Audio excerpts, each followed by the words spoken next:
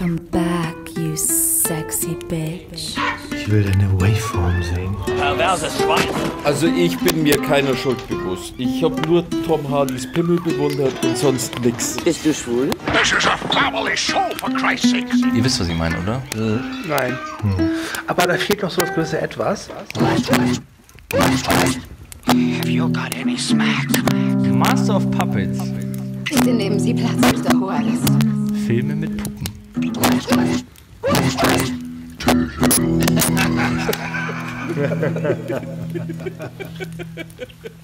Sag mal, Andi, kann es sein, dass du dieses Thema nur gewählt hast, weil du unbedingt Master of Puppets nachspielen willst? Das waren übrigens nicht ich. Oh, okay. Es ist, es ist eigentlich einfach zu spielen, ich habe keine Ahnung. Ich hab's versucht. Ich habe mich da noch nie so wirklich rangewagt.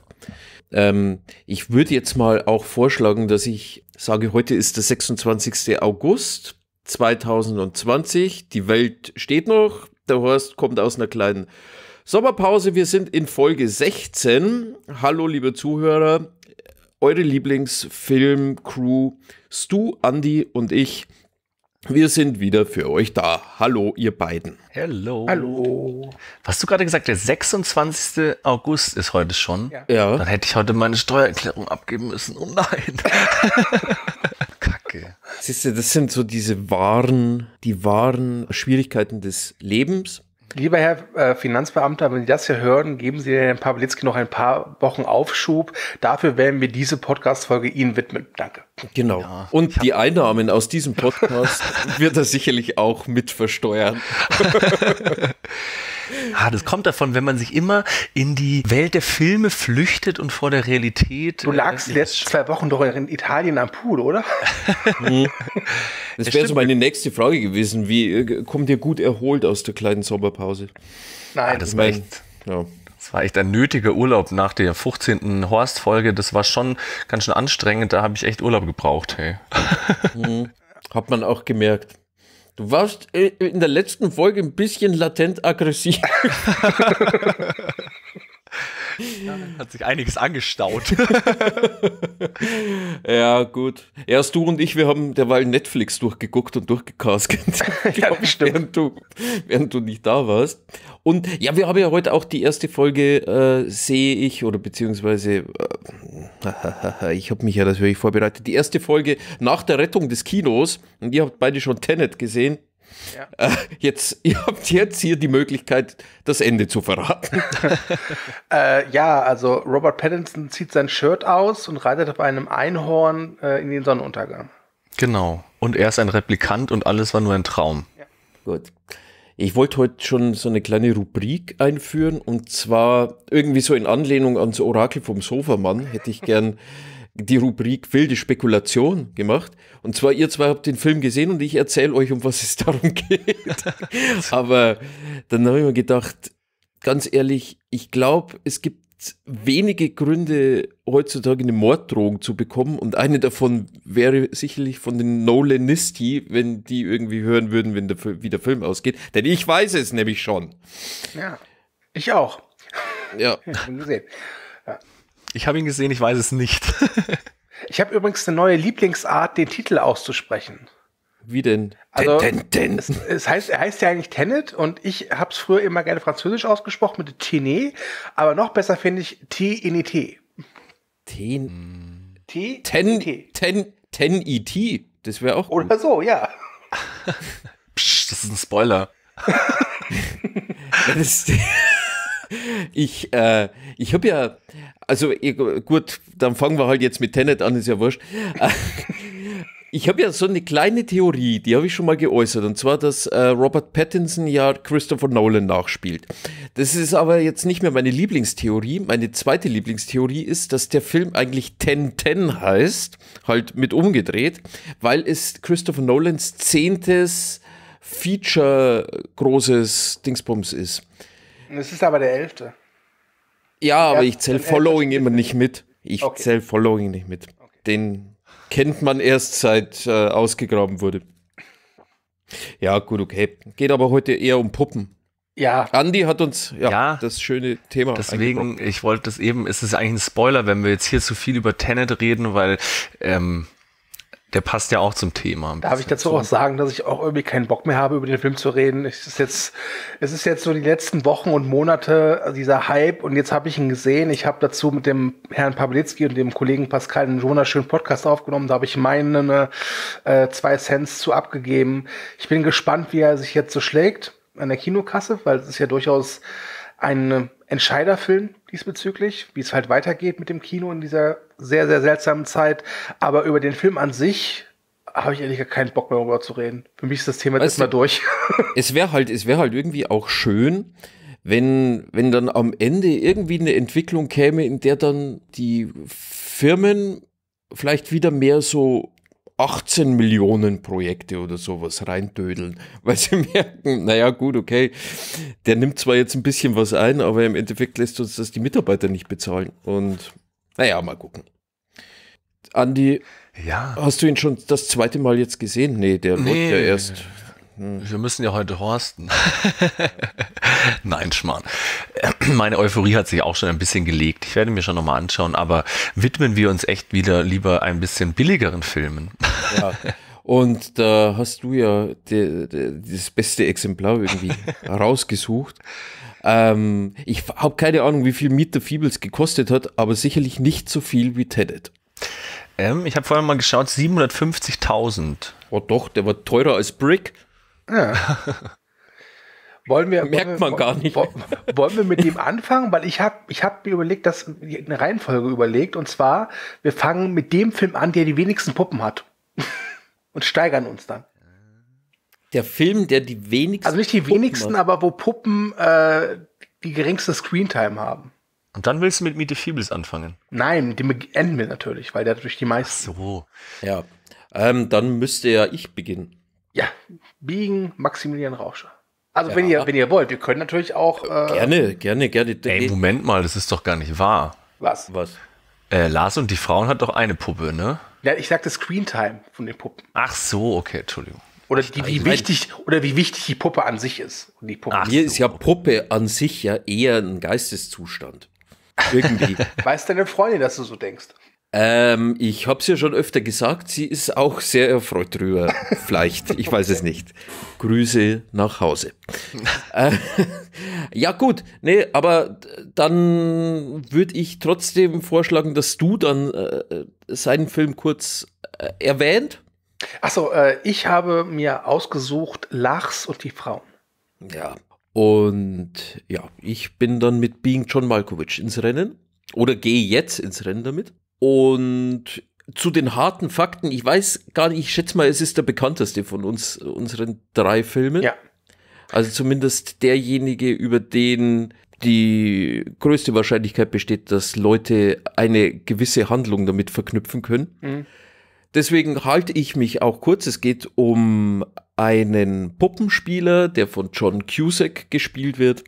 Oh, Und- ab, ich will dich gar nicht unterbrechen. John Cusack, heute auch schon das zweite Mal Hauptdarsteller. Der Goldene Horst geht an John. Ach, John. stimmt.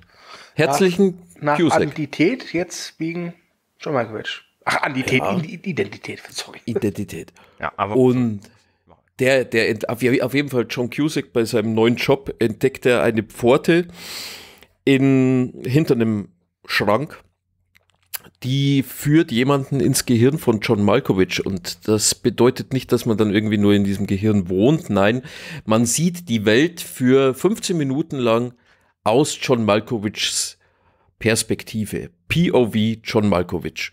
Und da er sich überlegt hat, hm, das werden außer mir wahrscheinlich noch ganz viele andere Menschen ganz cool finden, fängt er an mit einer Kollegin, in die er sich auch verknallt hat, ein ja, Gewerbe zu starten, das mehr oder weniger wie der John Malkovich Freizeitpark dann funktioniert, dass die Leute da reingehen können und die zahlen dann Kohle dafür.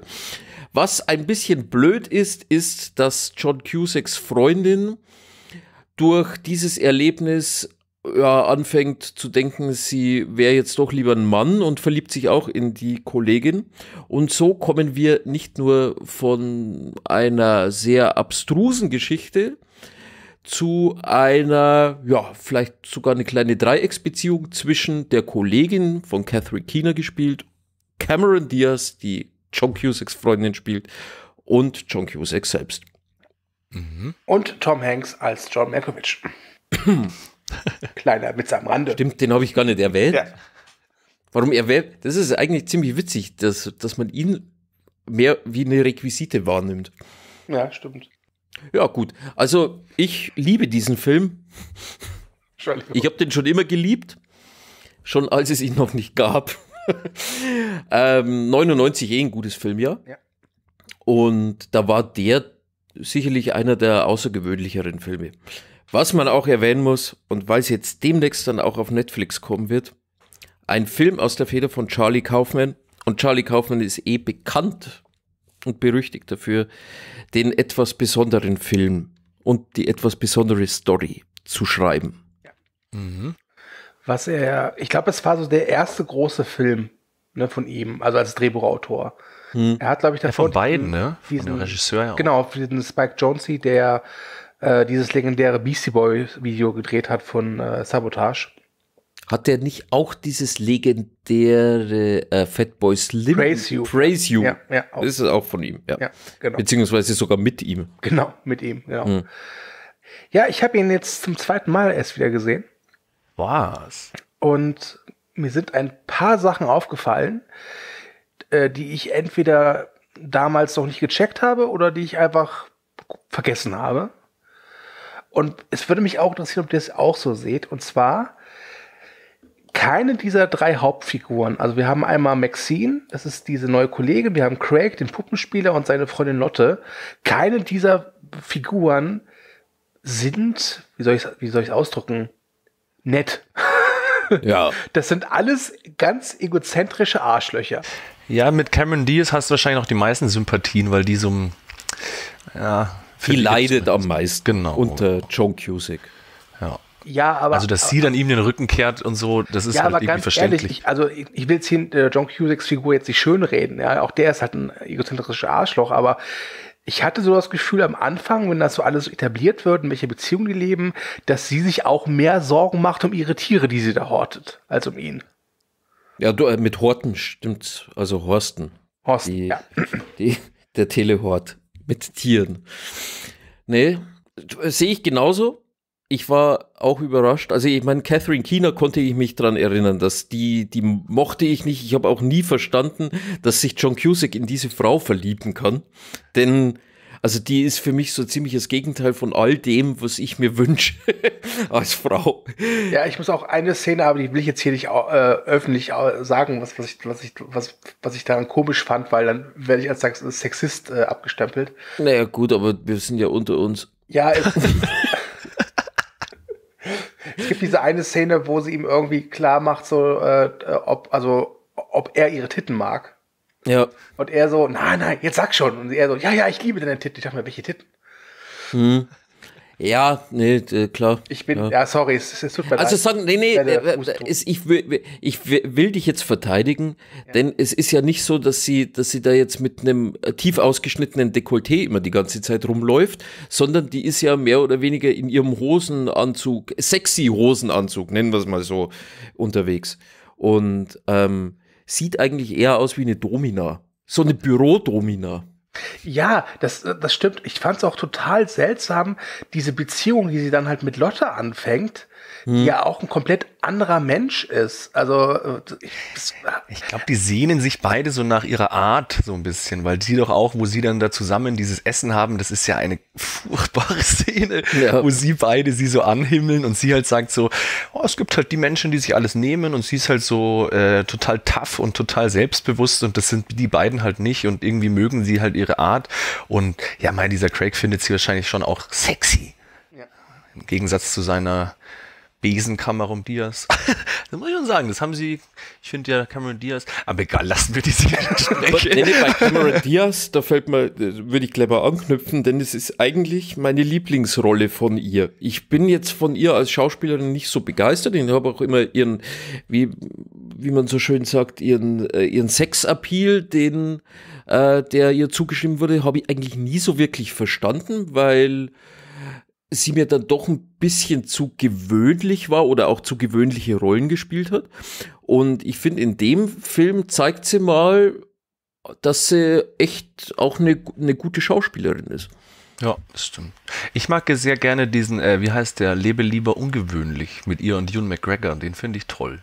Ich liebe Faulkner Mary. Auch gut, ja. Ja, gut, okay, der ist aber, das ist, ja. Eben, aber das ist jetzt nicht, äh, zeichnet sie jetzt nicht als großartige Schauspielerin aus, vielleicht. Nee, ich meine, wenn sie, wenn sie dann mal im, äh, bei den ganz großen Fischen da mitgemischt hat, bei Gangs of New York, da hat sie sich ja zum Beispiel in die Nesseln gesetzt. Also würde ich jetzt behaupten. Ja, das hier, also mir ist auf, ich habe ihn jetzt schon öfter gesehen. Ich weiß nur noch, dass ich den halt damals irgendwie eher immer wegen dieser Absurdität toll fand und immer, wenn ich den irgendjemandem zeigen wollte, habe ich eigentlich immer nur auf diese Malkovich Malkovich Szene gewartet, weil die ist einfach so schön, schön, schön verspult und so und das war immer mein Highlight im Film. Aber wo ich ihn jetzt öfter wieder, also immer wieder habe ich dann mehr Facetten da irgendwie gesehen. Und erstens ist der Film so krass witzig. Also da Ja. allein schon diese komische äh, siebeneinhalb der Stock Geschichte und so. Und da passieren ja so, also dieses Einführungsvideo, dieser Chef, dann also so viele Die Sekretärin, großartig. alles, alles zum Todlachen. Also, das ist ja wirklich grandios. Ich musste diesmal, die habe ich auch ein bisschen vergessen, diese Szene. Da dachte ich mir auch, das ist ja schon fast wie bei, bei Anchorman, wo am Schluss dieser Hund mit dem Bären spricht, aber wo dieser Flashback kommt, wie damals der Affe seine, seine Familie retten musste und so. Und dann siehst du diesen Untertitel. Das war einfach so, so übertrieben witzig. Daran konnte ich mich gar nicht mehr erinnern, dass der so witzig ist. Aber was ich krass fand, äh, wo dann, wo dann Craig irgendwie seine Frau in diesen Käfig sperrt, um dann eben mit dieser äh, Maxine in John Malkovich zusammen zu sein, das wird jetzt zu einem krassen Psychothriller eigentlich auch noch gleichzeitig. Also das fand ich schon richtig düster irgendwie. Ja, Es geht ja im Prinzip um darum, dass ähm, man eine andere Person besitzen möchte. Sei es jetzt in der Beziehung oder halt eben wortwörtlich, indem man in den Kopf eindringt, wie bei John Malkovich.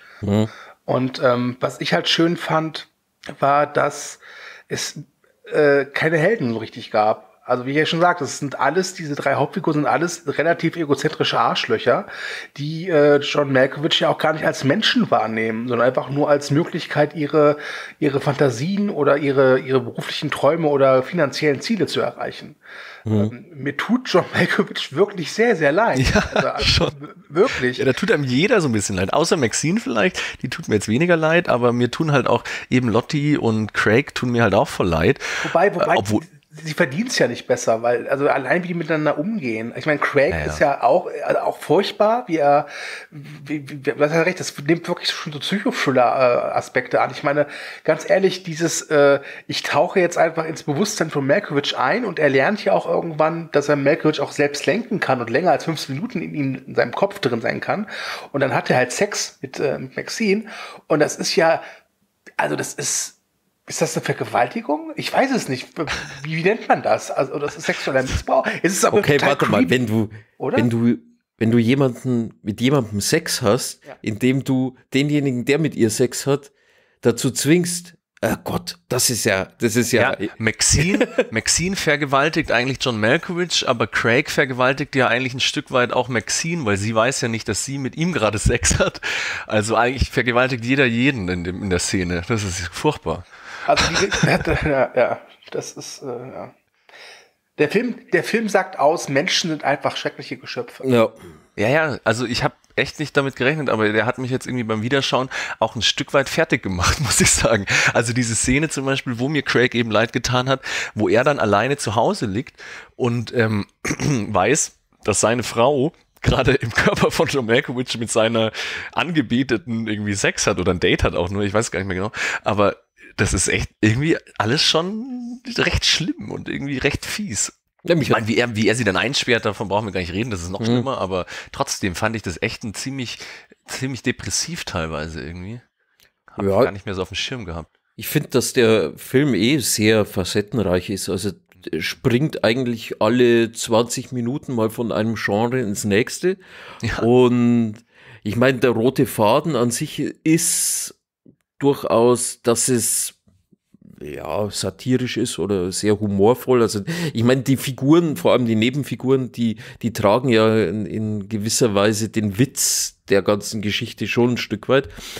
Und ähm, vor allem, wenn du dann am Ende die alten Männer und Frauen siehst, die mehr oder weniger wie so eine Geheim, wie so ein geheimer Ja. Kult, Da muss ich auch an Rosemary's Baby denken. ja, ja. Also du, du bist halt echt auch von, von der Tonalität in vielen äh, Bereichen unterwegs. Und äh, was mich hat echt überrascht, dass der halt so facettenreich ist. Ich habe ihn, glaube ich, zum dritten Mal jetzt gesehen und war echt überrascht, weil ich habe ihn eigentlich eher so als Komödie äh, abgespeichert, natürlich mit so einem, mit so einem gewissen hohen Standard an Witz, aber äh, dass es dann doch auch so um, also was mir aufgefallen ist, so um Gender-Fragen ging es ja auch irgendwo ein bisschen. Wenn, also die Figur von Lotti ist mir das erste Mal so richtig bewusst geworden, was die eigentlich für innere Kämpfe austrägt. Liegt vielleicht an den heutigen Zeiten. Ja, also es ist, ich war auch total verblüfft, was für eine Achterbahnfahrt dieser Film ist. Weil der Beginn ist sehr künstlerisch, wenn du siehst, wie Craig da mit seinen Marionetten spielt, dann ist das unglaublich lustig. Also das Bewerbungsgespräch, ich habe auch im Boden gelegen vor Lachen, allein mit, mit der Sekretärin und auch hier sein Chef, dieser Dr. Lester, der immer sagt, ja, ich hoffe, Sie verstehen, was ich sage.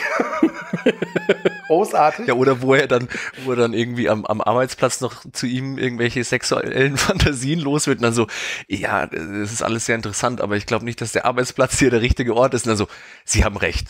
Heute Abend um sieben treffen wir uns zum Essen. Dann werde ich mein Innerstes vor Ihnen ausbreiten. Das ist so geil. Was er dann da auch erzählt in dieser Szene, das ist so krass einfach nur. Und der Film wird, finde ich, halt immer perfider. Und am Ende, wenn du halt eben weißt, was es damit auf sich hat, mit diesem, ja, ich nenne es mal mit diesen Illuminaten oder wie immer die, die sich nennen, ähm, also jetzt bitte nicht falsch verstehen, das ist jetzt keine Dan Brown-Verfilmung, äh, aber dass sie halt dieses Kind dann auch wieder benutzt, um mal ewig zu leben, das ist schon echt, also das ist so, es ist so beschwingt und lustig und auch amüsant, aber wenn man genau darüber nachdenkt, ist es halt sehr finster. Und Ja. das, das, das kann der Charlie Kaufman gut. Sehr gut sogar. Das ist ja einer der Gründe, warum ich mich auf seinen Netflix-Film so freue, der jetzt am Mhm. September rauskommt. Das ist ja auch witzig. Den anderen Film hier, Adaption, habe ich mir äh, länger schon her, aber wieder mal angeschaut. Und da sind sie doch am Anfang auf dem Set von dem Film hier, von Being John Malkovich, in dieser Szene auch. Das fand ich auch total gut. Ein kurzer hier Side-Fact, naja. Ja, Der übrigens auch ist sehr nicht, ist großartig. nicht, ja, ja, aber Kaufmann ist nicht ohne Grund, glaube ich, einer der besten Drehbuchautoren. Also er ist mindestens in der Top 3 der Kreativen, die, die da Mhm. Ja, und bei ihm mag ich so gerne eben diesen Spagat zwischen, weil irgendwie, ich kenne den jetzt natürlich nicht persönlich, aber irgendwie, dass er in dem Film ja auch und eben bei Adaption auch so, ich glaube, der ist schon ziemlich kauzig und so ein bisschen eben immer wie diese Protagonisten und das, in Adaption spielt er, spielt er auch so ein bisschen damit, dass er sich ja selber da reingeschrieben hat, aber dann gibt es diesen Zwilling, der so alles ist, was er gerne wäre, eben so das ist ja auch das Thema von äh, Björn Jamelkowitsch ein bisschen. So er als so ein bisschen kauziger Künstler, der vielleicht auch nicht so ganz anerkannt ist. Ich meine, Charlie Kaufman war dann sehr anerkannt natürlich. Aber trotzdem glaube ich immer, dass da viel von ihm dieses Depressive und so ein bisschen Schrullige mit drin ist. Und das wird dann mit diesem Humor und mit diesen anderen Figuren dann immer so konterkariert. Finde ich total gut. Er kann, glaube ich, gut beobachten und das ist halt das, das Schöne, wenn, wenn du, äh, ich glaube, nur die wirklich guten Drehbuchautoren können auch gute Figuren schreiben. Ich glaube, das ist super schwer und ich glaube, es wird noch mal eine Schippe schwerer und da bist du dann in der Champions League, wenn du kauzige Figuren schreiben musst, die die Leute dann auch entweder lieb haben, ist jetzt natürlich in dem Film weniger der Fall, außer dem Chef. Den würde ich mal sofort in den Schrank stellen. Aber ähm, die, Unbeliebten muss man ja auch gut schreiben können, damit man ihnen folgt, weißt du? Ja, Ja, das vor allem ist so man ein muss bisschen hier das äh, als Stu's äh, Paul Giamatti-Film American Splendor Genau. Geschichte so, ja. Ja. Also du musst auch irgendwie die Eier haben, die drei Hauptfiguren deines Films auch so unsympathisch zu machen. Ja. Ja, und was mir dann noch so gut gefällt, ist eben auch diese Selbstironie. Also, dass er halt, ähm, wie gesagt, sich selber so ein bisschen auch da wenn, wenn das so ist, ich, wie gesagt, ich habe das Gefühl, dass er sich da selber so ein bisschen reinschreibt und dann selber sich über sich lustig macht und über seine Art so ein bisschen. Was ja auch noch großartig ist, apropos Selbstironie, wie John Malkovich halt in dem Film immer so ein bisschen auch sich selbst oder von anderen halt irgendwie verarscht wird. So, sie sind doch der aus dem Film. Die waren super als Juwelendieb. Ich habe auch Ja. ja. Juwelendieb gespielt. Das ist so geil. Aber echt eine meiner Lieblingsszenen, wo du auch sofort siehst, wie fies diese Maxine ist, wo dann irgendwie äh, John Cusack das erste Mal daherkommt und sagt so, und diese tolle Entdeckung, so, boah, ich kann nicht weiterleben mit diesem Wissen oder so, ich weiß nicht, wie ich mein Leben in den gewohnten Bahnen weiterführen soll und sie einfach nur so aufs Fenster zeigt und rausgeht. Das ist so großartig, ey. Naja, die spielen das grandios, also muss man schon sagen. Also nicht nur Cameron Diaz, auch die gute Frau Kina. War das eigentlich ihre erste große Rolle? Äh, oh, äh, ich glaube, das schon. Also, ich glaube, am bekanntesten ist sie für ihre Rolle in Jungfrau 40 männlich sucht. Äh, davor, also ich habe, also davor hat sie in diesem Living in Oblivion mitgespielt, aber es ist auch ein kleiner Film. Oh ja, oh ja. Das ist ja scheiße. Das ist ja nicht mit Steve Buscemi. Ja, ja. 8 den mag ich auch Millimeter war sie, war sie die Ehefrau von Nicolas Cage, das war auch im gleichen Jahr. Und danach hat sie in, in vielen Filmen mitgespielt, auch in Capote unter anderem oder in American Crime. Äh, Captain Phillips, sicher. Ähm, auch in diesem Charlie Kaufmans Regiedebüt, äh, Scenic doch äh, New York oder wie immer ausgesprochen wird. Aber ansonsten, das ist, ich, ich mag die Frau unglaublich gerne. Ich mag sie auch Hat gerne. die Ja. nicht auch in Adaption mitgespielt? Nee, oder? Ich weiß nicht. Hat Dann die nicht auch in Adaption? Oh nee, glaube nicht. Nee, äh, Doch, hat sie. Echt? Ja, ja, weil ich, ich dachte mir schon, das wäre so ein bisschen so Charlie Kaufman, äh, wie sagt man, Muse, keine Ahnung. Also da war die, glaube ich, schon ein paar Mal dabei irgendwie, dachte ich mir. Naja, aber in der Rolle ist die ja scheiß großartig. Ja, ja, also die passt super. Und auch wenn ich sie halt nicht sexy finde, muss man ja auch nicht. Dafür ist sie doppelt so ekelhaft. In dem Film, ja. Ja, ja, ja. Gott, ich werde nie irgendwas Böses über Catherine Keener sagen. Vor allem, ich habe sie mein Leben lang mit Toni Collette verwechselt. Oh, ja, auch das passiert. Manchmal. manchmal. Aber gut, okay. Ja. Aber von meiner Seite her kann ich da gar nichts mehr dazu beitragen zu diesem Film. Ja, ich finde es schwer, den wirklich in Worte zu fassen. Du kannst halt sagen, ja, der ist halt total durchgeknallt, was er ist.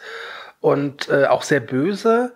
Aber wie er dieses, dieses perfide halt präsentiert, das hat so was locker leichtes irgendwie. Das hat mich ein bisschen im positiven Sinne fassungslos zurückgelassen. Das äh, sieht man nicht oft. Also das Jahr 99 war wirklich ein ausgezeichnetes Filmjahr. Ich finde halt auch, was der Film so scheiß gut macht, ist halt eben dieses Absurde so einzuführen, weil ich muss immer an die Szene denken, äh, wo, das fand ich eben auch witzig, weil da diese, wie heißt der mal, Octavia Spencer im Aufzug steht. Ja. Und dann, wie, wie cool diese Fantasy, sag ich mal, Elemente da so reingebracht werden, weil da wirst du erstmal mit diesem komischen Aufzug vor den Kopf gestoßen. Oder allein davor schon dieser Marionettenspieler mit seiner Riesenmarionette im Fernsehen. Ist ja auch irgendwie ein bisschen absurd, aber trotzdem kommt es so beiläufig. Und dann auch dieser siebeneinhalbte Stock wird so beiläufig eingefügt, äh, eingeführt und wo sie dann das Brech, die Brechstange nimmt und das Ding aufmacht. Und dann sieht man da so diese, diese äh, Einschläge schon, also so das ist ganz normal. Das muss man immer hier mit dem Brecheisen aufstemmen und so. Und es wurde alles so geil beiläufig eingefügt, dass du dir dann auch gar keine großen Gedanken mehr gemacht hast. So, ja, Mei, da ist halt ein Portal in John Malkovichs Kopf. Ist doch ganz normal. das also wieder diese Genres auch verknüpft. Total spielerisch und ja, großartig. Und dann hat man noch ein Cameo von Charlie Sheen. Und Sean Penn. Und es spielt ja auch, ja, und Sean Penn und es spielt auch David Fincher mit. What? Den habe ich nicht erkannt. Der ist, ähm, glaube ich, in der Retrospektive zu John Malkovich als eine andere Figur wieder da interviewt. Ach, stimmt. Ich habe jetzt irgendwie David Finchers Gesicht nicht so vor Augen. Aber Da dachte ich mir auch, jetzt wenn David Fincher da mitgemacht hat, weil Spike Jonze ein großer Kumpel von ihm ist und die sind da irgendwie aus einem, was weiß ich, Filmjahrgang rausgekommen, das wäre eine komische Kombination. Ah, auch ein, ein Name, der mir im Abspann auch aufgefallen ist, dass dieser Michael Stipe, oder wie heißt von REM, den Film produziert hat. Fand ich auch lustig.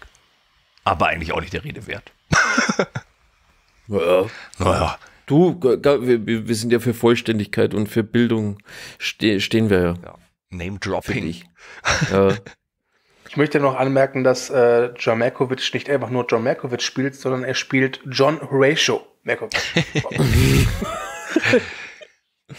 Der größte Puppenspieler der Welt. Ja, das fand ich auch spannend. Also, wo er dann halt groß erfolgreich wird und die eigentlich total happy sind dann kurzzeitig und dann acht Monate später und sie sitzt total depressiv, schwanger in dem Dings und er schaut eigentlich eher aus wie Craig am Anfang, total grattlig und so, dass sich das dann so gedreht hat. Da kann man auch viel reininterpretieren irgendwie. Das fand Ja. ich schon ganz schön.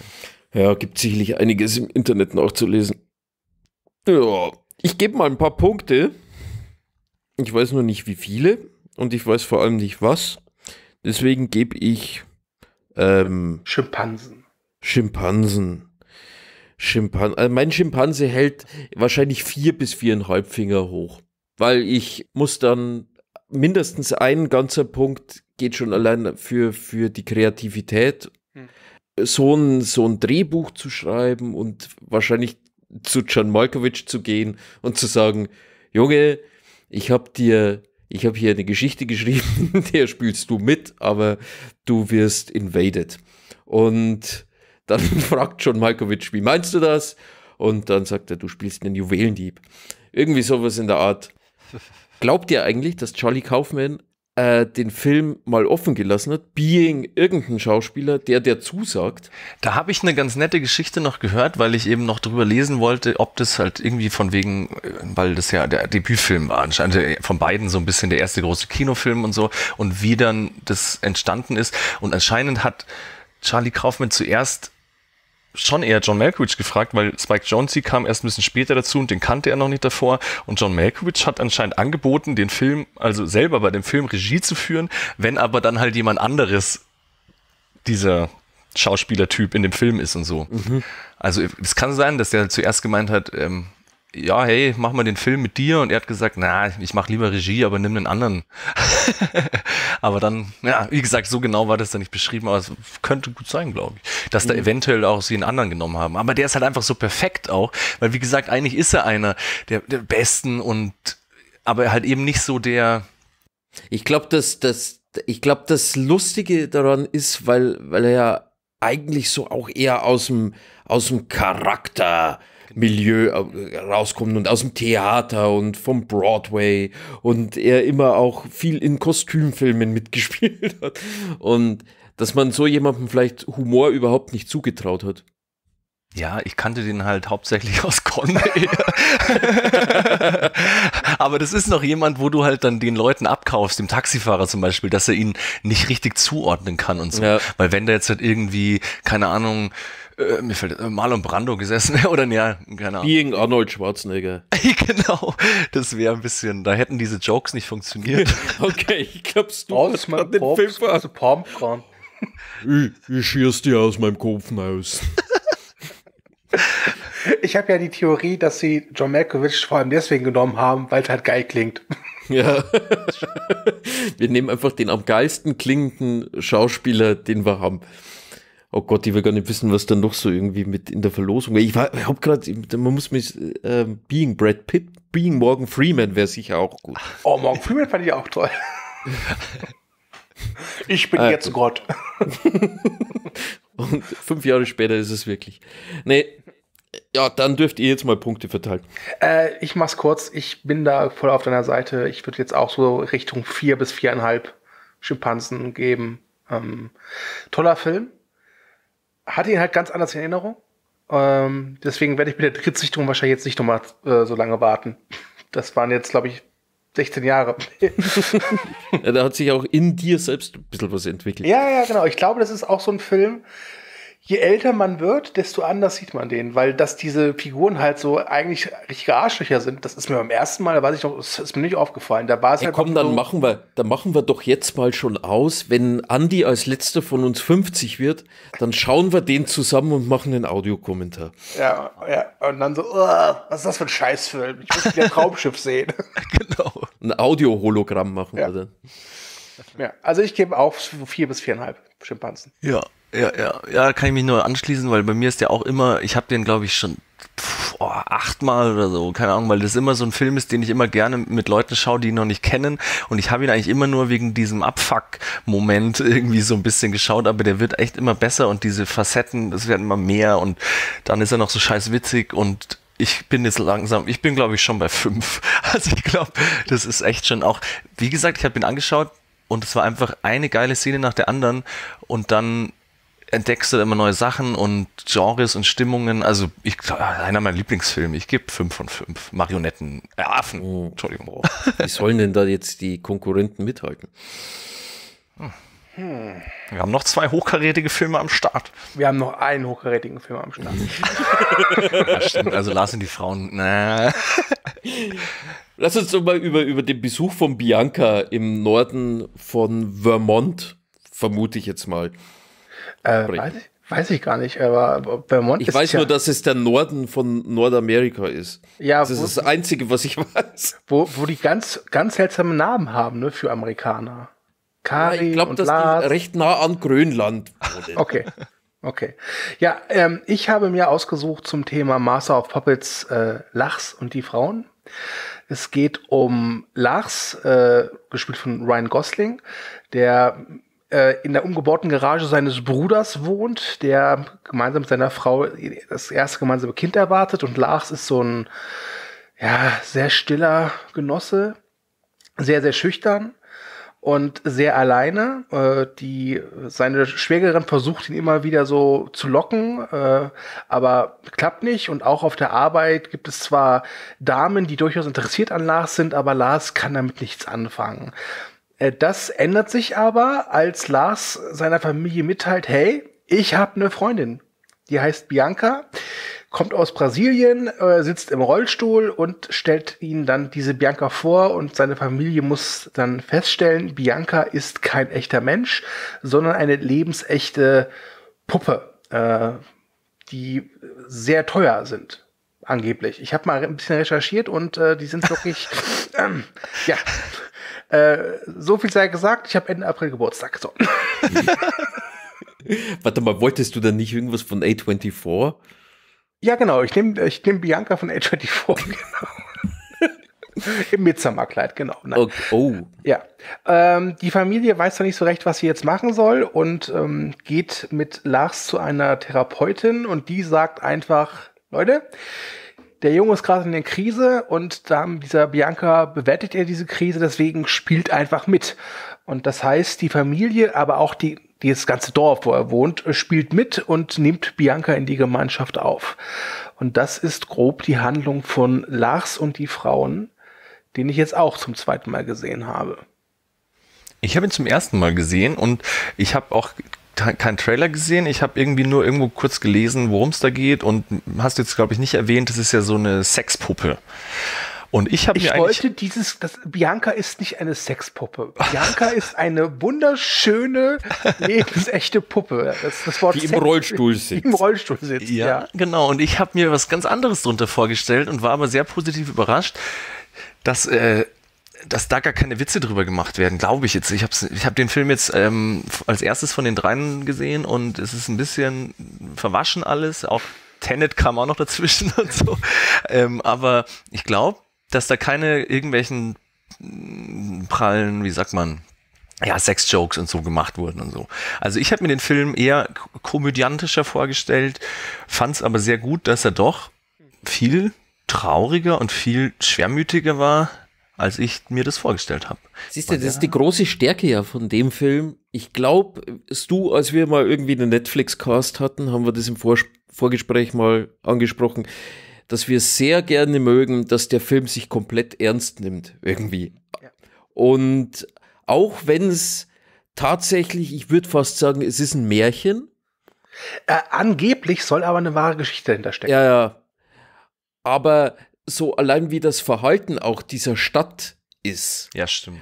Und, oder äh, vielleicht ist es eine Kleinstadt oder ein Dorf, keine Ahnung, aber auf jeden Fall sind da sehr viel mehr Menschen involviert, ein, ein Utopia aufzubauen, Ja. wie es wahrscheinlich in realen Leben je sein könnte. Ja, Also, ganz ehrlich, in Realleben, äh, wenn der Lars seine Olle da, also seine Bianca vorgestellt hätte, äh, der, der wäre in die Klinik gekommen. Punkt. Ja, ja. Ich mochte diese Ärztin sehr gerne, die äh, Patricia Clarkson. Mir ist zum Verrecken nicht eingefallen, wo ich die schon mal gesehen habe und ob ich die da auch schon mochte, aber die fand ich sehr sympathisch und sehr gut in dem Film. Das hat, äh, hat mir gut gefallen. Generell der Cast. Ich fand die alle sehr menschlich und sehr, es war schön Ja. zuzuschauen. ja, und am großartigsten natürlich äh, hier. Ryan Gosling. Ryan Gosling. Wo ich zuerst dachte, auf dem Cover, wo ich irgendwie den Film aufgemacht habe und den kleinen gesehen habe, dachte ich zuerst, das wäre irgendwie Christian Ulmen auf dem Cover. Oder so. Ganz komisch, irgendwie schaut er da aus. Aber das war ja. Ich glaube, ich glaube, dass die Rolle von Lars ist so eine dieser Rolle, die Schauspieler gerne übernehmen, wenn sie mal zeigen wollen, dass sie mehr können als gut aussehen. ja. Ne? Weil Lars ist jetzt nicht hässlich, aber er ist auch jetzt kein, kein Sonny Boy. Eher das genaue Gegenteil. Mir ist Ähm, durch, ja, Ja.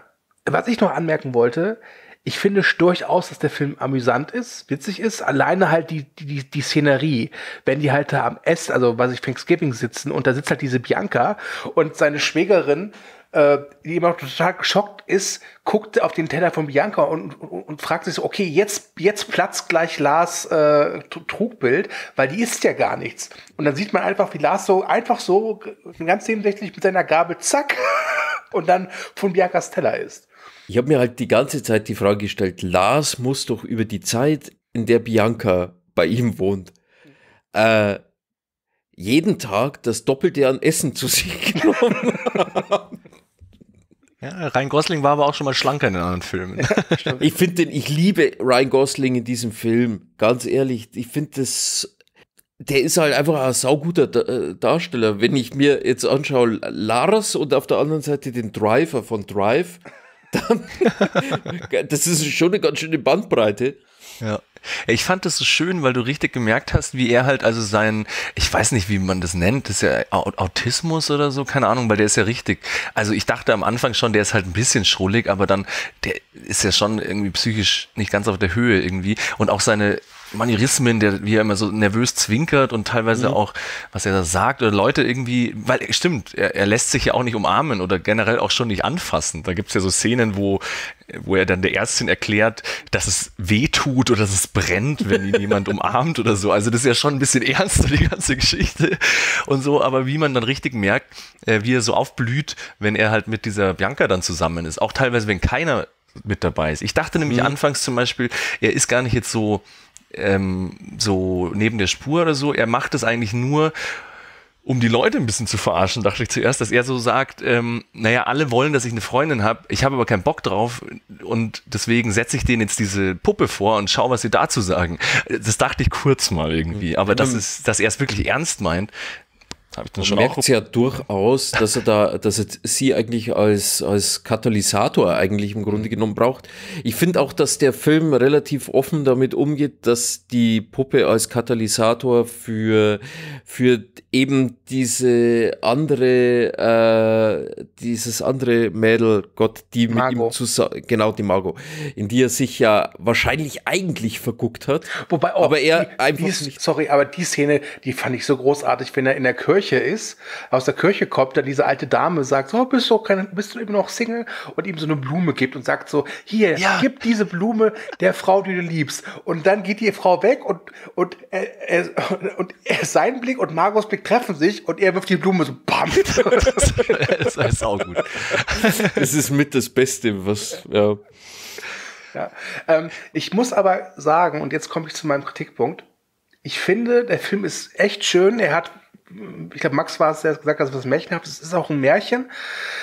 Ich finde es doch irgendwie schade, wie er endet. Äh, er endet nämlich schon so, dass alles wieder in die Normalität abdriftet. Ja, dass so das ähm, Besondere sich dann wieder entfernt und wieder Ruhe herrscht. Ähm, weil sie, Bianca ist ja todkrank Ja.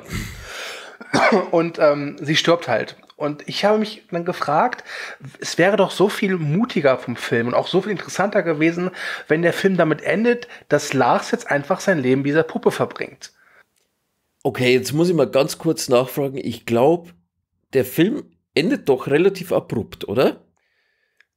Ja, also sie stirbt halt, dann sind sie auf dieser Beerdigung, ne, wo dann die ganze, Ah, genau, ganze und dann wollen sie ist. spazieren gehen miteinander und dann ist. Genau, und dann geht er mit Margot spazieren. Genau. Okay.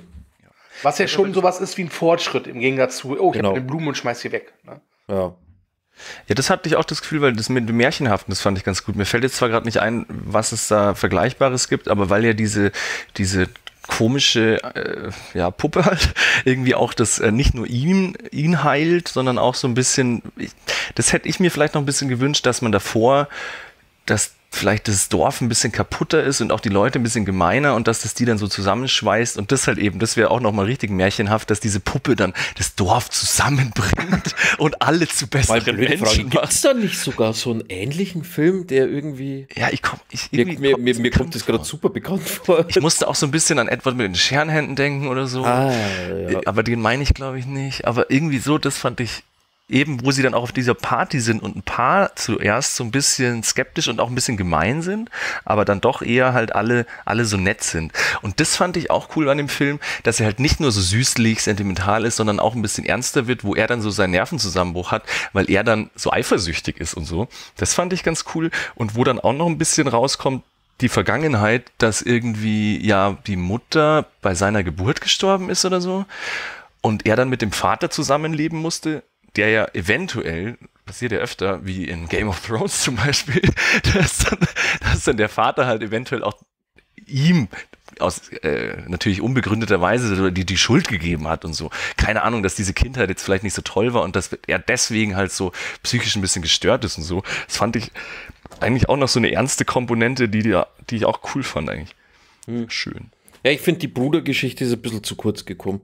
Also, ähm, da hätte man vielleicht, also bevor ich jetzt das ganze Dorf irgendwie zum kaputten Gebilde gemacht hätte, mir hätte es schon gereicht, wenn die Familie an sich ein bisschen kaputter gewesen wäre. Ich meine, Also der Film traut sich jetzt nicht wirklich, ich sag mal, weh zu tun. Ne? ja, Er, er, dieses Dorf ist halt übernett, die Familie ist äh, eigentlich sehr verständnisvoll, auch wenn sie natürlich am Anfang erstmal geschockt sind, was verständlich ist. Ne? Ähm, aber ich finde den Film wirklich schön und habe ihn auch jetzt wieder sehr genossen. Aber irgendwie mit dem Ende wurde ich nicht warm. Ich, ich äh, dachte so, dass der Film geht in lange Zeit so in eine Richtung. Ich dachte, okay, der traut sich das wirklich zu zeigen. Hey, das ist, das ist jetzt Lars, das ist jetzt seine nicht echte Freundin, aber das hat er sich halt jetzt ausgesucht und er kann damit glücklich werden. Und da traut sich der Film halt nicht da durchzugreifen. Am Ende muss es halt doch wieder so sein, dass äh, die Normalität Einzug hält. Und ich weiß noch nicht so richtig, wie ich das finden soll. Das ist schon eher so ein klassischeres Happy End, ne? Ja, genau. Ja. Ja, weiß nicht. ja, gut. Ich fand's schon gut. Aber meine absolute, Lieb äh, absolute Lieblingsszene muss ich hier noch erwähnen, das ist äh, großartig gewesen, wo sie eben auf der Party sind und dann sogar die Gastgeber und so, dann äh, die Bianca so, so mit ihr tanzen und so. Und wie Ryan Gosling da tanzt, ist nicht großartig. Das werde ich auch äh, demnächst immer so machen. Gott, Tanz, Lieblingsszene Tanzkurs mit Lars und Bronson. It's a sin. Ne, über die Party hat man, ist ja ein bisschen so ein Knackpunkt, finde ich, in dieser, in dieser Geschichte. Denn wenn, wenn du diese Party ein bisschen anders hättest verlaufen lassen, hätte die gesamte Geschichte in eine komplett andere Richtung gehen können. Mm, ja, aber irgendwie, das fand ich dann auch ein bisschen komisch, dass, dass die Leute halt dann so überhaupt nicht auf die Bianca reagiert haben. Weißt du? Ja, so ein paar so am, am, am anderen Ende des Raums und so haben schon so ein bisschen skeptisch geschaut, glaube ich immer. Ja, da kam dann der, der, der, der Versuch eines Sexpuppenwitzes, glaube ich, kam da dann mal. Aber Stimmt, ich glaube, da kamen schon so ein paar Sprüche so, ähm, Mai, ich hätte auch gerne eine Frau, die mir nicht widerspricht und solche Geschichten. So ein bisschen sowas in die Richtung. Aber Und fand ich auch schon ganz eine Frage habe ich. Welche, wa, wa, was hat diese Firma, in der Ryan Gosling äh, angestellt war, was haben die hier hergestellt oder was haben die überhaupt gemacht? Weil das sind ja irgendwie alle Mitarbeiter haben ein bisschen einen an der Waffel. Stimmt. Boah. Naja, Gegenfrage, was macht die Firma, in der John Cusack in Beacon John Malkovich arbeitet? Die sortiert. Okay. Sehr schnell. Ach ja, Gott, John Malkovich. Dieses Symbol. Wo kann man das Symbol einordnen? Ach, schön. Also bei mir in der Firma hatten auch alle an der Waffel und das war so ein Dentalvertrieb. Also ja, dann, ich, dann sind sie halt bei, bei, keine Ahnung, irgendwas mit Prothesen. Okay. Ja. Bildungsauftrag, der war damals äh, für das beste Originaldrehbuch nominiert bei den Oscars. Äh, also durchaus, also die Idee ist halt schön und man hätte das da auch echt die übelste Klamotte draußen machen können. Äh, stellt euch nur mal bitte vor, irgendwie, dass äh, Will Ferrell da die Hauptrolle gespielt hätte. Ich meine, ich hätte es mir angesehen, weil ich die Idee einfach ziemlich cool, cool finde. Ähm, aber auch wenn ich halt mit dem Ende nicht so ganz warm geworden bin jetzt bei der Zweitsichtung, äh, muss ich trotzdem sagen, es ist ein echt ein schöner Film. Ja, so in die, in die Richtung habe ich es mir, wie gesagt, ein bisschen vorgestellt, weil ich äh, hier äh, Nice Guys, ja wohl, der war jetzt auch keine Komödie an sich oder so, aber das, äh, oder ich weiß es nicht, Ryan Goslings Filme, äh, der, der hat ja schon auch ko- komödiantisches Talent äh, bewiesen, öfter mal irgendwie. Und ich dachte, das wird äh, eine klassischere Komödie und deswegen, ähm, ja, war ich auch äh, sehr angetan von dem Film, dass es keine war. Also ich bin auch bereit fürs Fazit, wollte ich damit sagen. Okay. Wunderschön. Äh, dann fange ich mal an und ich sage, ich gebe dreieinhalb äh, von fünf weggeschmissenen Blumen. Äh, ein sehr schöner Film. Das Ende, finde ich, äh, lässt Potenzial leider liegen. Aber ansonsten ein wirklich im besten Sinne liebenswerter, netter Film mit einem wunderbaren Ryan, ich wollte jetzt Reynolds sagen, Gosling. Gosling, so heißt der Mann.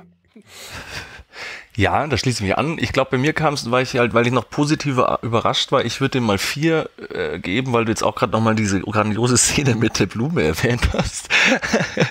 also wie gesagt, anfangs, wo wir drüber gesprochen haben, haben wir viel über diese melancholische Seite und auch jetzt über die ernsten äh, Vergangenheitsgeschichten dann so. Die sind mir jetzt eher so im, in Erinnerung geblieben, aber dass der dann doch noch auch, doch auch ziemlich witzig war, das habe ich jetzt schon fast wieder ein bisschen vergessen. Aber ich gebe ihm mal vier. Ich fand ihn schön, witzig und auch ernst. Ja. Ja, und die vier, die gebe ich auch, weil ich alles, was Stu sagte, unterschreiben würde. Ich glaube, ich habe aber mit dem Ende halt weniger Probleme. Ja, genau. Hatte ich jetzt auch nicht so. Und weil du noch das mit dem Märchenaspekt angesprochen hast, das fand ich jetzt auch noch sehr gut. Also ich werde mir in nächster Zeit vielleicht auch nochmal anschauen, dann auch nochmal ein bisschen unter dem Aspekt. Freut mich. Und ähm, ich habe mich jetzt dafür entschieden, dass der ganze Film in Maine spielt. Oh, also eine Stephen King-Verfilmung. Nee. ja, eben. Woher kommt diese Puppe? Genau. Ja, vielleicht kann man da so mal den Trailer umschneiden mit so ein bisschen böser Musik und dann immer so Close-up auf das Puppengesicht. Bianca wants to kill Lars. Lars is working in a prosthetic company. You have cloud my action figures. And I will kill your teddy bear. No fun and no play will Lars make a doll owner. Oder so ähnlich. Ach, schön. Wunderschön. Jetzt stelle ich mir Shining vor mit Lars und Bianca. Gott. Wie er Bianca die, mit dem Rollstuhl erst selbst die Treppe hochzieht und dann den Baseballschläger holt und sie runterknüppelt. Ja. Schön. Ja, Ja. ich glaube, ich glaub, es ist soweit, dass wir von zwei Filmen, wo zwar Puppen drin sind, zu einem Film kommen, wo wirklich nur Puppen drin sind. Der absolute Puppet Overkill.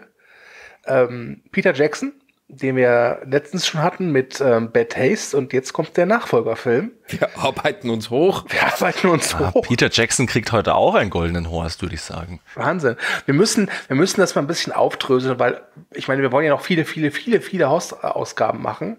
Irgendwann hat jeder einen goldenen Horst. Der steht dann da neben dem Golden Globe irgendwie verstaubt in der Ecke. Das geht ja nicht. Ich stelle mir gerade vor, wie, wie Peter Jackson einen Brief aufmacht, wo dann so ein goldener Horst drin ist und er denkt so, yes!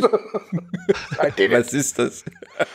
und dann deine, deine 11 Milliarden Oscars so von der Vitrine reißt, so, ach, So, mit einem Rutsch mit dem Arm so. Oh, ich brauche ihn nicht. Endlich habe ich es geschafft. Und Steve Carell fragt seine Mutter, ob er es ins Trophäenzimmer stellen darf. Ja, apropos Peter Jackson und Oscars, ich glaube, den ersten Oscar hat er für die Meet the Feebles bekommen. Nein. Für das beste Kostümbild? naja, ernsthaft, ernsthaft, bleiben wir ernsthaft. Das Also, ist der Moment, dem Feebles. ich Lou wegschmeiße. Ja, worum geht es in Meet the Feebles? Ich würde mal sagen, das ist eine recht ähm, ja, subtile Parodie auf das Showgeschäft, kann man sagen. Definiere subtil. Es geht um den aufstrebenden Musiker Robert, der seinen Traum vom Showgeschäft äh, verwirklichen will, indem er sich einer bekannten ja, Varieté-Show mehr oder weniger anschließt. Ja, und wird dann aber doch relativ schnell auf den Boden der Tatsachen runtergerissen, denn das ist alles nicht so Glamour, heiter Sonnenschein, wie er sich vorgestellt hat, denn er findet zwar seine große Liebe, aber der Rest dieser Truppe ist doch so ein bisschen kaputt, kann man sagen, und korrupt und drogensüchtig, gewalttätig, obszön, genau. Ja, und so nimmt da Peter Jackson das Showgeschäft auf die Schippe. Quatsch, keine Ahnung. ich wollte es jetzt ein bisschen ernsthaft gestalten, aber Ja, und jetzt darfst du mal, also die Wahrheit sprechen. genau.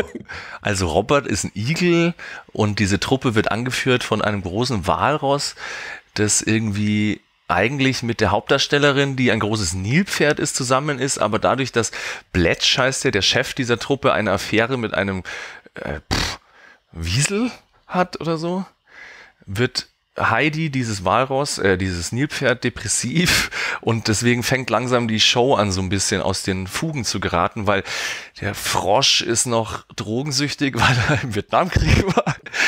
Der, ach Gott, ihr wisst schon. Aber Spitzenfilm. Wir Genau. haben ihn gesehen. Wir haben ihn gesehen. Wie fandet ihr ihn? Also, bin immer noch ganz baff. Also ich traue mich ja fast, weil Andi, ich mag dich gern. den Also Film sagen, hab den Film- nicht so sehr. Ich habe den Film damals irgendwie vor pff, 20 Jahren oder so auf DVD gekauft, deswegen habe ich ihn jetzt auch ausgewählt, dass ich nicht 3,50 Mark auf YouTube oder Amazon ausgeben muss, dass ich endlich mal wieder diese DVD anschauen kann. Ich glaube, ich habe ihn ein, zwei Mal schon zwischendurch noch gesehen an so Abenden. An diesen Abenden. Aber jetzt habe ich ihn mir mal äh, alleine nüchtern angeschaut und fand. Egal, ihr erstmal. Ich habe ihn äh, relativ zeitig nach unserer letzten Horst-Aufnahme gesehen. Da war ich noch so ein bisschen im Bad Taste-Fieber. Und ich fand ihn. Also ich würdige Bad Taste auch, was für ein Aufwand das gewesen sein muss, die, äh, diese Puppen zu machen. Und es sind vereinzelt echt nette Szenen drin. Aber nach 20 Minuten hatte ich keinen Bock mehr, wirklich. also, ich, ich mag ja so Puppen. Ich, ich liebe die Muppets zum Beispiel. Ich weiß, Kollege Rauscher, äh, dem geht's da anders. Aber, boah, Meet the Feebles, ich will nicht sagen, dass ich den scheiße fand. Dafür würdige ich es einfach zu sehr viel Arbeit und äh, Herzblut da drin steckt. Aber ich kann nicht von mir behaupten, dass ich den Film genossen habe. Also ich fand ihn nicht unterhaltsam genug. Ähm, ich fand ihn anstrengend tatsächlich, weil dieser Humor irgendwann nur noch genervt hat. Ähm, und es gibt eine Figur, die heißt Sebastian, so ein Fuchs, der Regisseur. Das fand ich ganz cool. ja. Das kann ich dazu sagen. Ähm, ja, ich jetzt.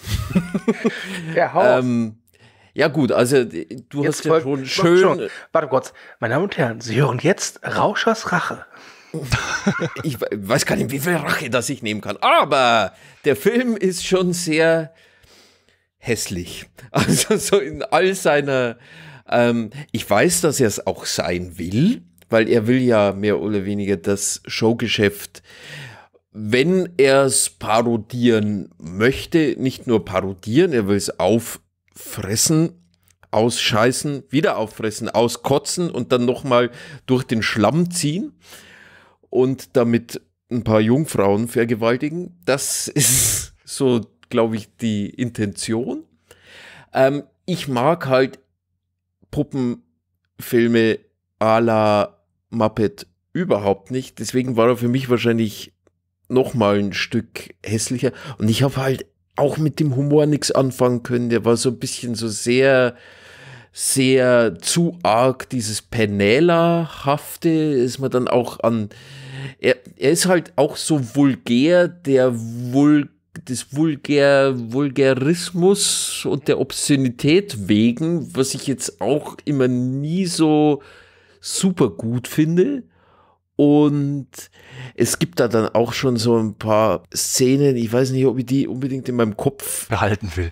behalten will, weil wenn man dann so, keine Ahnung, so Stoff, Stoffhäschen bei der Spermaproduktion irgendwie, ich weiß nicht, keine Ahnung, also ich werde die nächsten Tage sicherlich keinen Vanillepudding essen.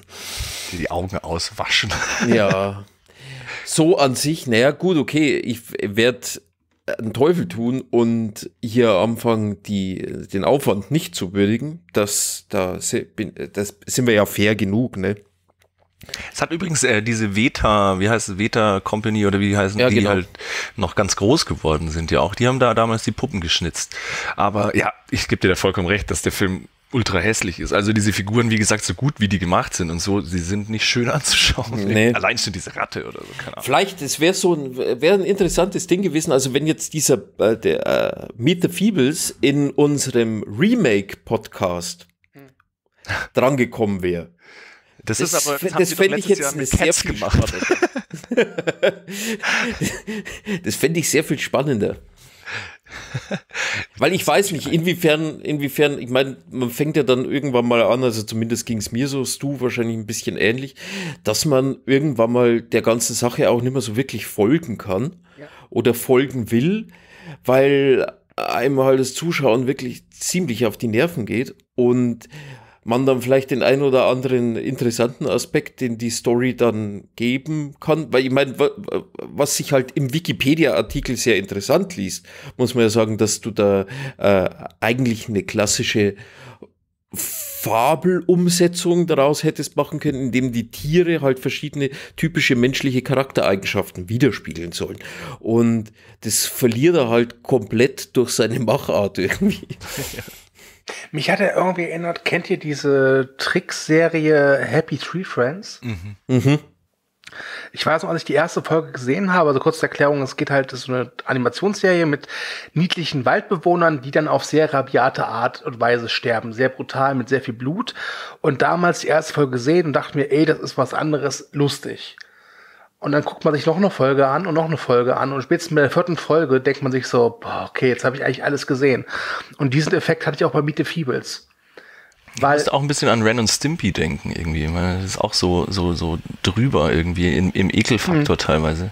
ja, also Ren und Stimpy muss ich, muss ich jetzt leider hier gestehen, habe ich nie wirklich gesehen. Ähm, Aber es, es gibt so einzelne Momente, die bestimmt super wären, aber in diesem Großen und Ganzen äh, es, kann ich die nicht mehr richtig wahrnehmen, nicht mehr richtig würdigen. Und ich weiß, ich habe den vor vielen Jahren gesehen und da fand ich ihn auch nicht berauschend, aber wesentlich besser als jetzt. Ich glaube vielleicht einfach, es liegt auch mit dem Alter zusammen, weil damals, als ich die mit, was ich 20 oder so gesehen habe, habe ich den schon abgefeiert so ein bisschen. Ich ich es auch weil ich jetzt auch gerade. Entschuldigung, Max. Nee, ich glaube, dass der einfach vor 20 Jahren ähm, auch noch einen sehr viel anderen Stellenwert hatte hinsichtlich dessen, was er sich getraut hat. Und ich meine, ganz ehrlich, wie, also so die super innovativste Idee ist es heutzutage eigentlich nicht mehr, weißt du? Ich habe auch irgendwie gelesen, dass die Produktionsfirma dann irgendwie sich im Nachhinein, wo sie den fertigen Film gesehen hat, nicht mehr in die Credits schreiben lassen wollte.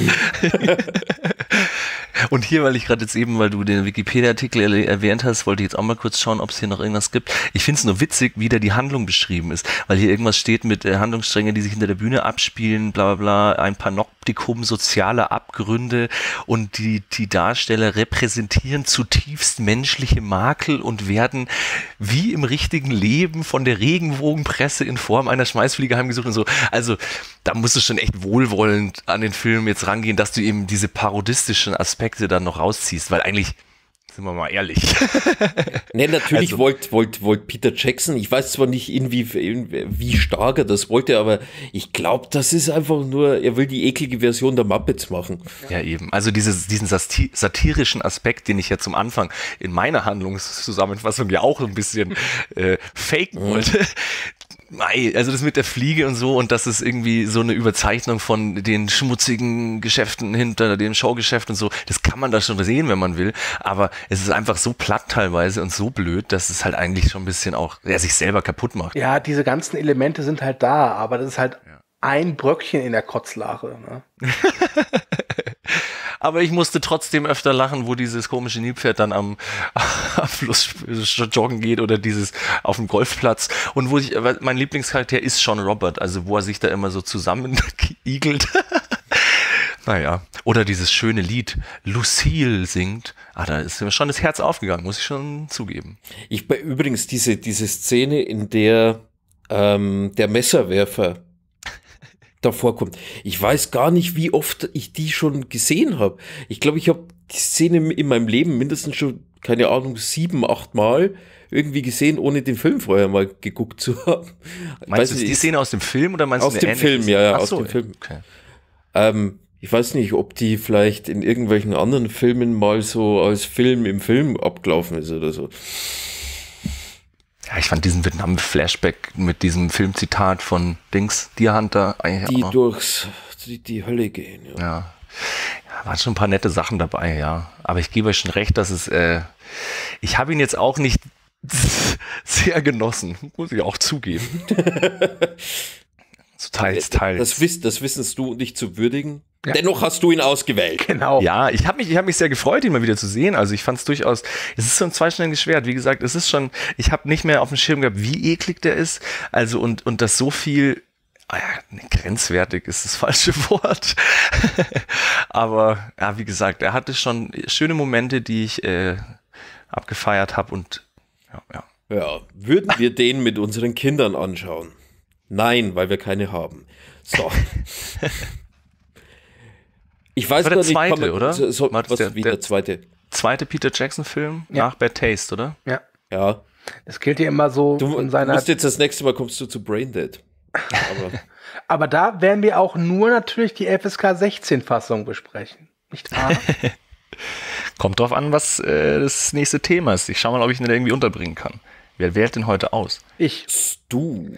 Und ich habe ein Thema. Ähm, aber wir müssen noch ein Fazit fällen. Ja, Ja, ja. viel Fantasie geht das Wir schon. müssen ja, also die Themenauswahl muss man schon sehr viel feierlicher jetzt irgendwie. Ja, wobei, rein- wenn, wenn, wenn, Weil- Andi, wenn Andi unbedingt Braindead besprechen will, werde ich dieses Thema nicht nehmen.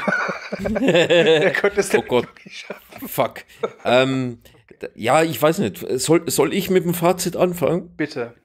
Hm, Ich hoffe, ja, ich einfach sagen was gebe ich jetzt? Ich kann eigentlich nur einen Punkt geben. Oh, okay. Ich gebe aber eineinhalb. okay. ähm, ich gebe ich geb sogar zwei. Also ich, ich, dieser Aufwand, der da drin, gesteckt hat, muss immens gewesen sein. Das haben wir auch schon bei, bei Bad Taste gesagt. Ähm, aber im Gegensatz zu Bad Taste hat mich da the Feebles dann doch eher meiste Zeit so, ja, mich, mich wie den Schultern zucken lassen und mehr nicht.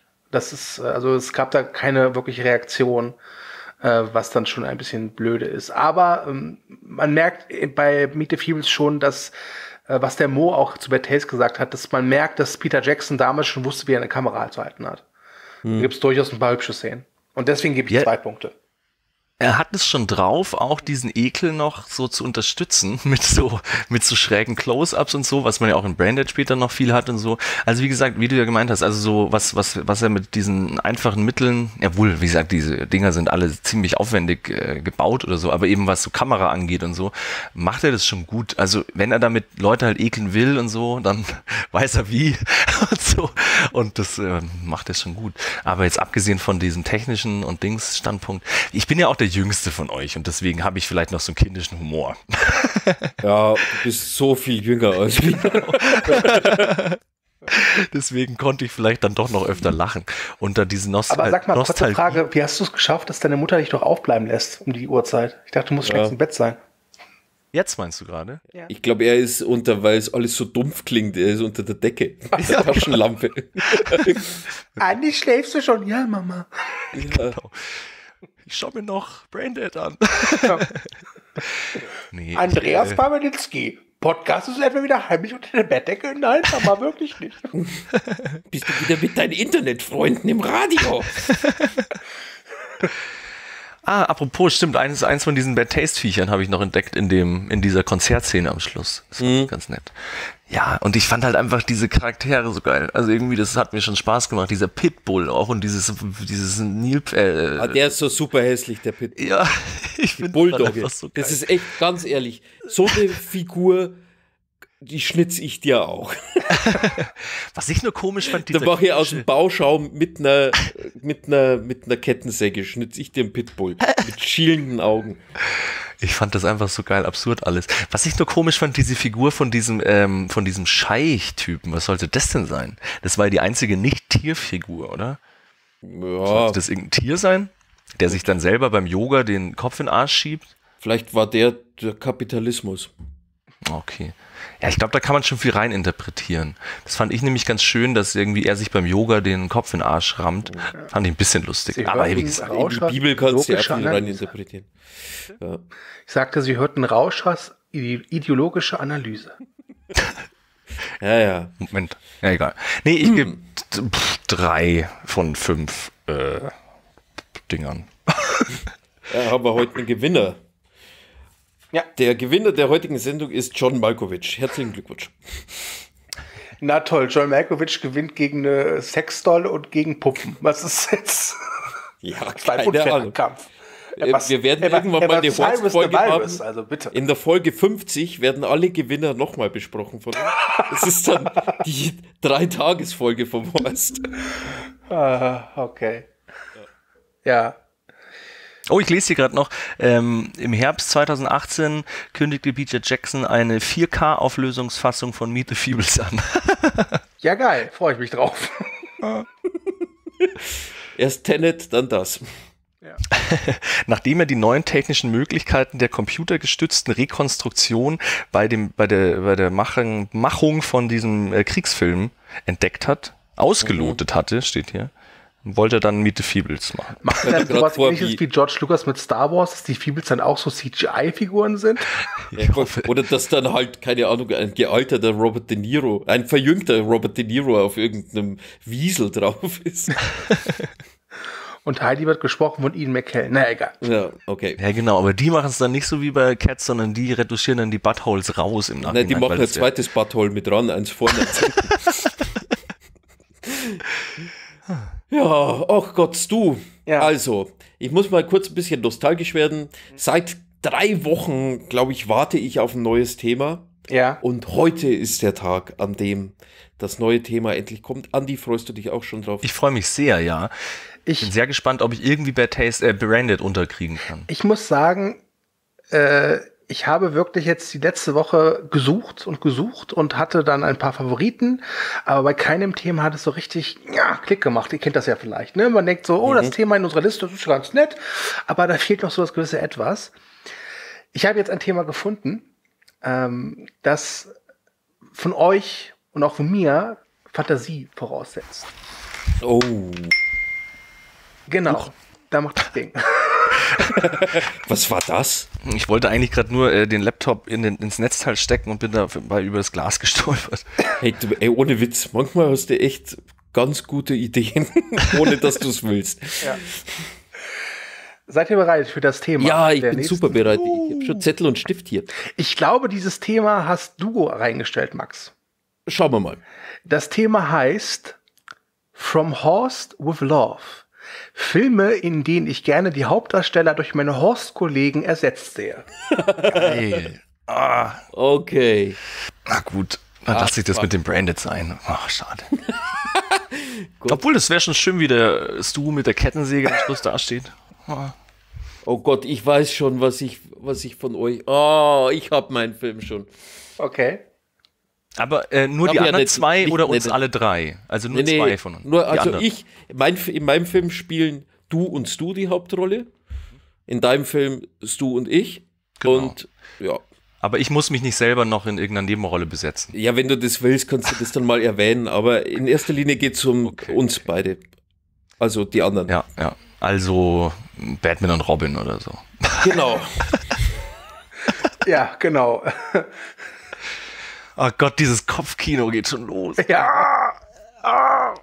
Okay, das macht Spaß. Eure Ärsche am Anfang in diesen Lederoutfits. Hab, habt ihr schon?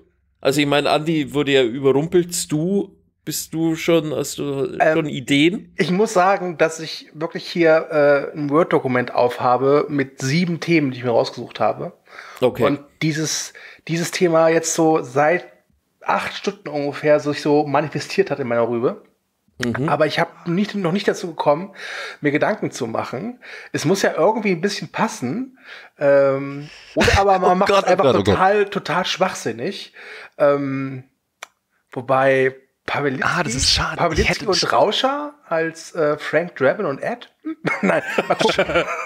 Ich hätte ein voll gutes, äh, das kann ich jetzt aber nennen, weil den nehme ich nicht, weil den haben wir letztens erst bei Testosteron Face Off. Gut, den Film, den ich nicht nehmen kann, wäre auch mit mein Lieblingsfilm, halt sieben, mit ähm, Oh. Andy Papilitzki als Brad John- Pitt oh, und, und du bist Morgan Freeman. Hast du Warum haben sie ihn umgebracht? Ich mag den Nuxuck gerne. Aber Face Off ist es halt auch ein bisschen schwierig, weil ähm, wir ja selber teilweise uns optisch nicht so äh, kennen, aber die Zuschauer ja noch weniger irgendwie. Es geht ja auch nicht um die Optik, ich würde da eher nach dem Charakter gehen. ja.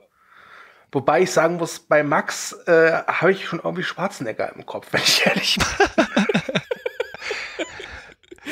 Oh Gott, könnte keiner weiter weg sein von Schwarzenegger als ich. Aber gut. Okay, dann spiele ich Danny DeVito. Oh Gott. Nein, ich, ich, ich, ich werde da schon irgendwas. Ich, ich, hab, ich habe einen Film jetzt gerade im Sinn. Ich werde ihn aber natürlich nicht hier verraten. Ich werde auch noch mal ein bisschen drauf äh, überlegen. Ähm, ich möchte ich, Brokeback Mountain. Nein, nein, nein. Ich möchte aber wohl anmerken, äh, ich möchte hier keine Person persönlich ansprechen, aber es gibt ja äh, eifrige Horst-Zuhörer kennen das, ja einen im Team, der sich immer etwas länger Zeit lässt, bis er einen Film gefunden hat. äh, deswegen wäre ich dafür, dass wir uns auch selbst so eine gewisse Deadline setzen, bis die Filme stehen. Ich habe hier, äh, wenn ich durch die DVD-Regal allein schaue, habe ich hier schon fünf, was ich lustig finde, aber muss ich mir nur einen aussuchen. Ja. Nur einen aussuchen. Die Frage ist ja auch, nimmt man dann wirklich was, wo man glaubt, die beiden, also ihr passt? Oder einfach, wo ich denke, so, oh, das könnte echt witzig werden. Ja, ich glaube, ich denke erstens mal mit dem könnte echt witzig werden. Und das andere ist, ich meine, die Charaktere, eure Charaktere kenne ich ja halt jetzt dann doch von dem einen oder Pod, anderen Podcast dann doch ganz gut. Ähm, ich finde, wo eure Charaktere so eine gewisse Würze in eine Figur mit reinbringen. Also vielleicht sogar nehme ich einen Film, den ich vielleicht unter Umständen gar nicht so gut finde, weil ich fände, der könnte bessere Hauptdarsteller brauchen. oh ja, das wird schön. Da muss ich mal gucken. Also ich meine, ich wüsste, welchen auch- ich nehmen könnte, ja. Wir müssen dann auch in der nächsten Folge aus jeweils einem Film so eine, eine Szene nachstellen. Oh Gott. also einen Dialog nachsprechen natürlich. Ja, Werde ich euch einen reinballern. Das wird großartig. Also, aber ich bin trotzdem dafür, dass wir äh, auf jeden Fall eine Deadline setzen, bis wann die Filme feststehen. Ja, zwei Tage oder so. Und ich mache das jetzt nicht nur wegen äh, dir, Andi, sondern auch wegen mir, weil das ist so ein Thema, da kann ich jetzt auch, glaube ich, 30.000 Filme finden. Vielleicht schaffen wir es sogar ausnahmsweise, dass wir Filme finden, für die wir nichts zahlen müssen. Das ist, das ist, Das ist ein eigenes Thema. ja. Ja, sehr schön. Ich muss auch sagen, also wir sind jetzt am Ende. Nach diesem Horst Special Overkill der letzten Zeit vor Andys wohlverdienten Urlaub tat es jetzt auch mal wieder gut, so einen normalen Horst zu machen. Ja, von Ein bisschen seriös. Ich meine, Ja. wir können ja vielleicht ein bisschen teasern, dass wir uns in der Zukunft mal einen äh, Telestammtisch-Gast wieder auf den Bauch gebunden haben. Wir sagen jetzt nicht welchen, ich glaube sogar aber der wird zwei. irgendwann mal kommen. Und Also komm, wir können, wir, können, wir können schon sagen, dass wir in Zukunft es machen wollen, dass wir so alle fünf Folgen Gast haben. Genau. Ne? Das können wir schon sagen. Und, aber es wird eine Folge geben mit einem Telestammtischgast Und es wird eine Folge geben, wo wir gerade in Korrespondenz mit einem anderen Telestammtisch fremden Podcast sind. Und Trommelwirbel, es werden Frauen sein. Oha. Jetzt auch nicht zu viel verraten. Aber müssen wir dann vor dem jetzt noch vier machen, dass es wieder zum fünften. Nein, nein, nein, nein, nein, nein, nein, nein. Oh Gott. Das mit den, mit den, mit den, mit den äh, Frauen, äh, Frauen, cool. Äh, das, das würde ich als Special machen. Ja. Ja. ja. Weil da haben wir auch noch ein paar andere Regeln und so, aber das ist, äh, erfahrt ihr dann, wenn es soweit ist. Ne? Genau. Ja, bis dahin. Ähm, es ist jetzt 21.28 Uhr. Vielleicht noch kurz Uhr. gesagt, Ja, bevor wir jetzt äh, falsche äh, äh, Eindrücke entstehen. Ich glaube, bevor diese Gäste kommen, sei es jetzt der vom Telestammtisch oder halt eben die Damen, gibt es garantiert Minimum noch eine normale Hostfolge, würde ich sagen. Ja, definitiv, klar. Kommt also wir haben wann die jetzt Deadline ist. Heute, heute ist Folge 16. Wenn wir sagen, wir machen alle fünf oder so, dann sind wir so bei Folge 20 mit unserem neuen Gast. Aber egal, ist alles Zukunft. Wer weiß, was da passiert. Jo, äh, halb zehn habe ich gesagt. Ich glaube, wir machen jetzt Deckel drauf. Ja, wir machen Deckel drauf. Okay, Ich muss in die Haia, sagt die Mama. wunderbar. Aber vorher geht's noch duschen. Ja, also ich dusche nicht mehr, aber ich würde mich über Kommentare freuen und Stu freut sich nicht über Kommentare. Da kommt doch eh Deswegen- nie was. Deswegen schreibt Andi heute Kommentare. Okay. Nachtschicht. Ja, schön war's. Ja, war nett. War sehr schön. Ja, viel- ähm, Vielen Dank. Ich will jetzt gar nicht auflegen, aber ich mach's trotzdem. Ja, dann sage ich auch noch auf Wiedersehen und bis bald, liebe Zuhörer und liebe Kollegen. tschüss. Tschüss. Schön.